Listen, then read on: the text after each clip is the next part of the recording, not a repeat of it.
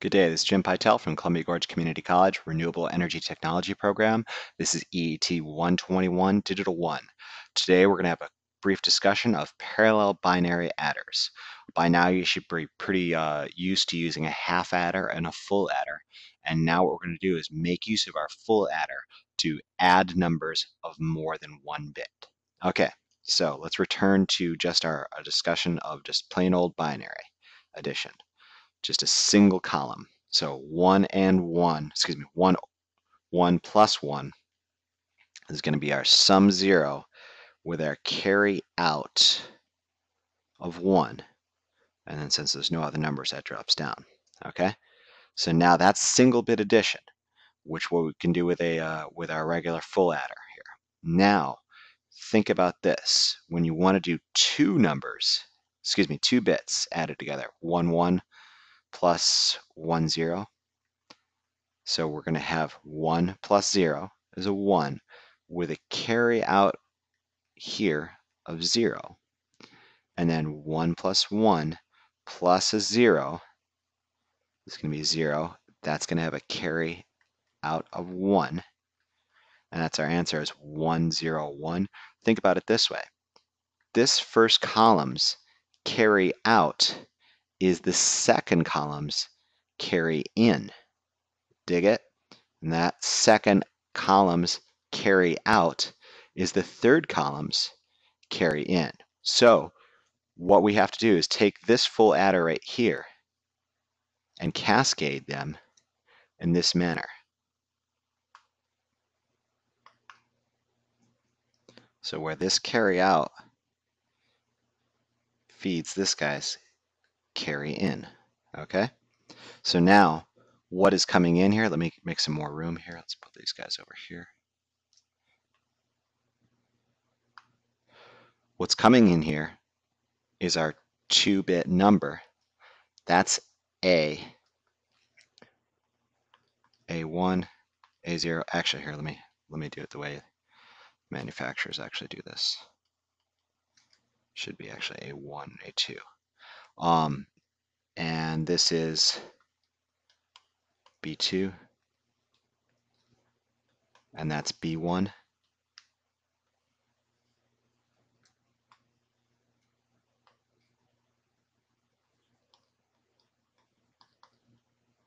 what's happening here. These are the numbers that you want to add. I just think they're, they're merging in a highway here where the ones go with the ones, twos go with the twos, they're being fed in. And what you get out here is our least significant bit right here. In this case, it's we uh, we were adding one one is our A, one one, and then one zero. So one, one, one zero, we got out one, zero. And where is that one? It's the carry out of the final stage, MSB.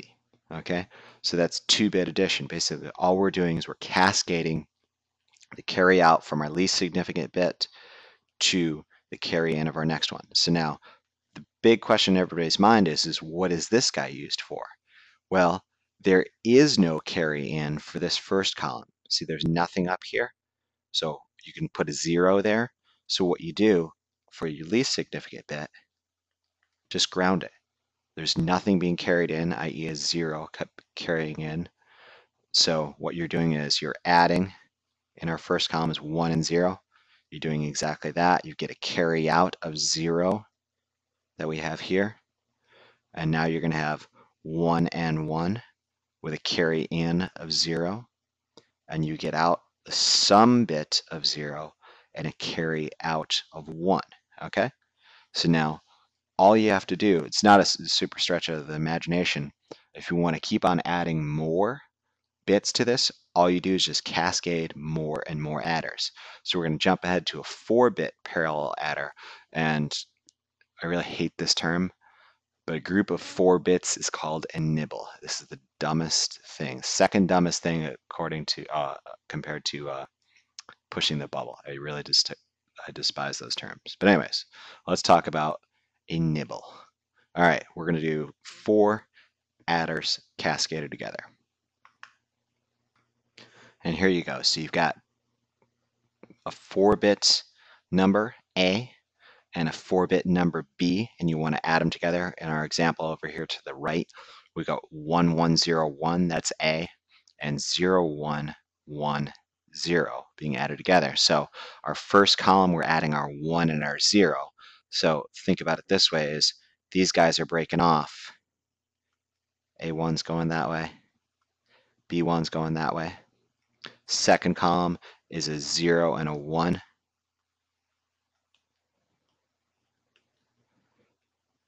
So on and so forth.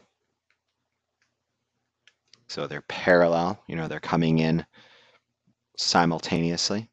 And now what's going to happen is 1 and 0 in our first column right here, it's going to have, is our sum is 1, our carry out is being fed over here, and that carry out is a 0. So think about this. We've just fed our carry out, our first stage, to the carry out of the second stage. So it's 0 plus 1. It's A2 plus B2 over here with our carry in of 0. So that's a sum 1 carry out of 0. So we got to hook this guy up right there. And now it's 1 and 1, A3 plus B3, plus our carry in from the second stage, which is 0. And our sum is 0. And this, this time we actually do get a carry out 1. And so what's happening there is basically our carry out is being fed into the carry in of the last column. Now it's 1 and 0 added together, added with a carry in of 1. So what we have is a 1 and a 1 is a 0 with our carry out of 1. Okay, and what this is, this is the most significant bit right here, our carry, our final carry out. And this guy right here was our sums that came out, and that was 1, 1, 0, 0. And our most significant bit was a 1, and our least significant bit was the output from the first stage. So not too hard.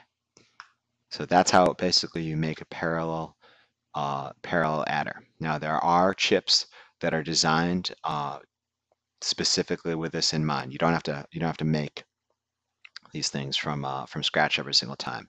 There's 4-bit parallel adders and